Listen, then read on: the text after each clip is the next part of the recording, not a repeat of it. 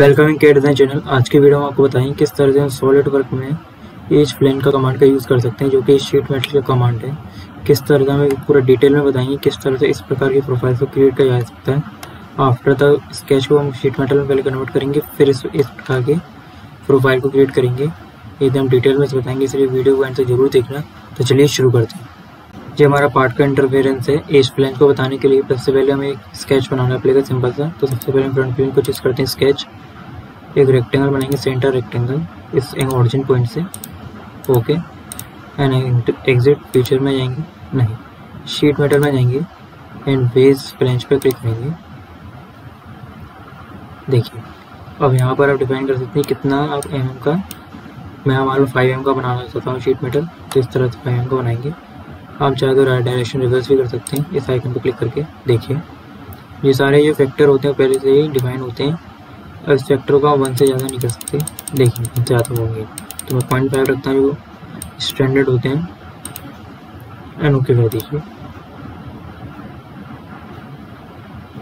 देखिए, इस तरह से शीट मेटल में कन्वर्ट हो गया। अब जो मैं बताने वाला था एज प्लेन तो इस तरह से समझते हैं एज प्लेन कैसे समझाएगा तो उस पर क्लिक करना। इस तरह से स्क्रीन आएगी। इस वाले ब्लॉक में किसी भी एक एज पर क्लिक कर देना। मालूम मैंने इस पर एज पर क्लिक किया। जैसे मैं इसके एच पे क्लिक करूँगा, एक प्रोफ़ाइल आएगी। इस तरह से शीट की फॉर्म के। इसे मैं नीचे की तरफ़ भी ले जा सकता हूँ, ऊपर की तरफ़ भी ले जा सकता हूँ। देखिए मान लो मैंने ऊपर की तरफ़ ले जाके क्लिक कर दिया। अगर मुझे इसकी डिफाइन करनी है कितने लेंथ तो मैं इधर से डिफाइन कर सकता हूँ। जैसे कि वन हंड्रेड टेन मैंने एम दे दी। देखिए। इसे मैं इंक्रीज भी कर सकता हूँ एंड डिक्रीज उसके बाद इधर जो आप फ्लेंच की पोजीशन मिलेगी। तो सबसे पहली पोजीशन पर अगर आप क्लिक करेंगे।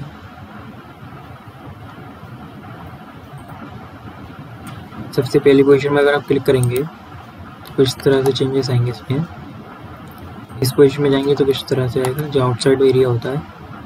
इस पे आएँगे तो और ज़्यादा आउटसाइड आएगा विद रेडियस के साथ। इस वाले आइकन पर क्लिक करेंगे तो इनसाइड इस वाले आइकन में क्लिक करेंगे तो अब इनसाइड पर इस पर रेडियस कम हो जाती है। तो मान लो मैंने इस वाले आइकन पर क्लिक कर दिया। आउटसाइड विद रेडियस देखिए, अब यहाँ एंगल और डिफ़ॉल्ट रेडियस अगर आप चेंज करना चाहते हैं तो इसके लिए आप चेंज कर सकते हैं। टू एम एम डिफ़ॉल्ट रहती है सब चेंज कर सकते हैं। Three M M four M M देखिए किस तरह से रेडियस चेंज हो रही है। फाइव एम सिक्स एम मान लीजिए मैं क्लिक ओके पर क्लिक करता हूँ। देखते हैं क्या प्रोफ़ाइल बनती है। देखिए। मैं एक बार और प्लेन बता देता हूँ। उसमें अभी तक मैंने एंगल नहीं बताया है तो एज प्लेन पर क्लिक करना इस वाले एज पर मैं क्लिक करता हूँ। अब दोनों में से कोई भी एज सेलेक्ट कर सकते हैं। उसके बाद नीचे की तरफ़ जा रहा है, जैसे ऊपर की तरफ़ जा रहा है। ऊपर पे जाके मैंने क्लिक कर दिया। मान लीजिए मैं लेंथ डिफाइन कर देता हूँ। 150 मिलीमीटर उसके बाद यहाँ पर आपको डिफ़ॉल्ट रेडियस चेंज करना तो वो भी चेंज कर सकते हैं। फ्रेंच की पोजीशन चेंज करनी वो भी चेंज कर सकते हैं। और रही बात एंगल की तो एंगल आप जैसे ही चेंज करेंगे, जैसे अभी 90 डिग्री है, अगर मैं एंगल से इंक्रीज़ करूँगा तो देखिए किस तरह से वो बैंड हो रहा है। अगर मैं इसे इंक्रीज डिक्रीज़ करूँगा तो देखिए,